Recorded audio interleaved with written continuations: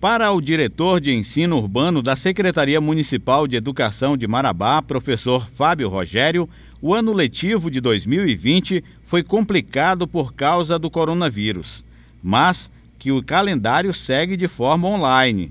O Conselho Municipal de Educação, que é o sistema de ensino de Marabá, é, aprovou o modelo de aula é, no contexto emergencial da pandemia, né? É, essas aulas né, são aulas remotas que se dão de duas formas. Aula com atividades não presenciais, que iniciamos a entregar aos alunos dia 5 de outubro, e agora, a partir de 1 de dezembro, é, paralelo às atividades não presenciais, começamos também com aulas online. É, os nossos alunos, eles têm duas horas Alunos do ensino fundamental eles terão duas horas de aulas online todo dia. Essas aulas elas nós orientamos as escolas que no turno da manhã elas aconteçam de 8 às 10 da manhã e no turno da tarde que aconteça de 14 às 16 horas. É, e essas aulas, é, para educação infantil é uma hora, né? porque você tem uma criança de três anos, não dá para você ter muito tempo a permanência dela em sala de aula, porque prescinde, necessita do acompanhamento dos pais. Então, essa aula online é uma aula que reitera, que retoma aqueles conteúdos das atividades não presenciais. Os alunos recebem as atividades e eles iam para casa né, para realizar essas atividades. A aula online é justamente uma estratégia para que o professor tenha, ainda que virtualmente, um contato com o aluno para tirar dúvidas, para trazer novas orientações, para explicar para o aluno né, aqueles conteúdos das atividades não presenciais.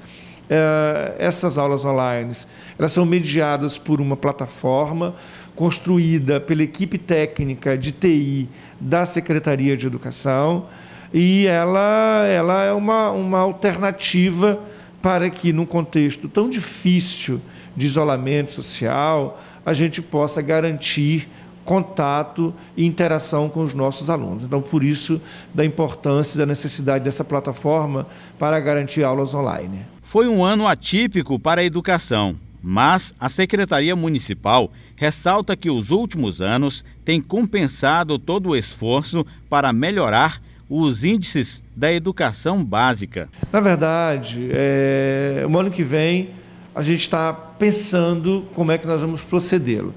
Nosso calendário letivo ele vai terminar 19 de março de 2021. Então, dia 19 de março é o último dia de aula dos nossos alunos. É, e aí a, escola vai dar os resultados às crianças, né? fazer o fluxo das crianças de uma série para outra. É, e aí a gente espera de verdade que a gente consiga retomar as aulas presencialmente. Né? Já um movimento do Ministério da Educação que incentiva o retorno presencial, né? claro, dando autonomia aos municípios, dadas as condições é, é, do vírus, da Covid, se está diminuindo, se está estável, se está aumentando. Então, depois dessa análise, a nossa expectativa é de começar as aulas é, 2021 presencialmente mas tudo vai depender né, do cenário do município, do estado do Pará e do Brasil. De qualquer forma, é, a gente já fica um pouco mais tranquilo, porque nós já temos aí uma organização que, caso não possamos ter aulas presenciais, a gente já tem uma plataforma que está montada, a gente já está fazendo formação com os professores, os professores já estarão mais é, é, tranquilizados, digamos assim, estão mais é, já estão com mais facilidade para, para usar o recurso da tecnologia. Né? Então, a nossa expectativa é que começamos presencial, mas se não for possível, a gente está em condições também de começar o ano letivo sem atraso, né, dentro do esperado. Porque Marabá ficou um período longo sem aula. Então, esse período longo sem aula acabou fazendo com que a gente também prolonga o nosso ano letivo 2021. Para que o ano não ficasse perdido, uma resposta imediata por parte da CEMED foi dada para que os alunos das mais de 200 escolas do município não ficassem sem aula. Para a educação, A pandemia do novo coronavírus fez com que os educadores que trabalham todos os dias com o ensino-aprendizagem voltassem as atenções para as tecnologias. E com as incertezas para o ano letivo de 2021 de forma presencial, pode fazer com que o método que está sendo aplicado continue para o ano que vem. A tecnologia ela passou a ser uma necessidade, ah, uma aliada para o professor desenvolver o seu trabalho pedagógico. E eu tenho dito que é um grande desafio que nós temos, né?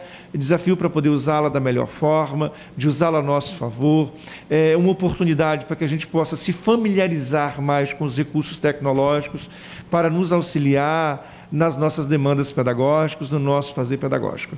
Importante dizer a toda a comunidade Marabá que esse é um processo, ele, ele é novo e por ele ser novo, ele não acontece nas suas melhores condições de imediato, né?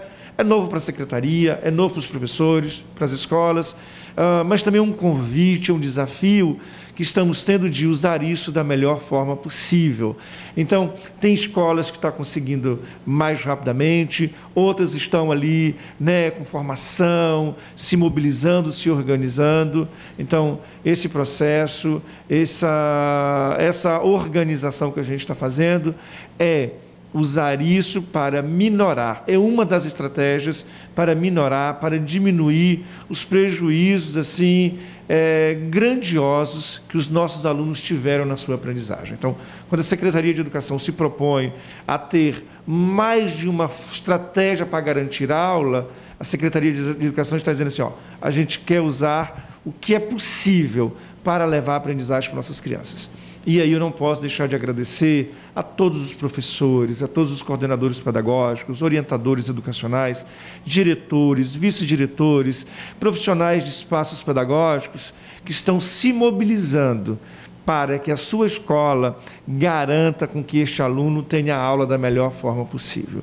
Para finalizar, importante dizer do, do nosso apelo aos pais, no sentido de buscar as atividades na escola, de orientar os seus filhos para respondê-las e depois disso devolver para a escola, para os professores fazerem as correções, fazer as intervenções que se fazem necessários para que o aluno possa aprender. Então, o nosso grande mantra é garantir condições mínimas de aprendizagem e garantir também aprendizagens mínimas, mas significativas para o nosso aluno.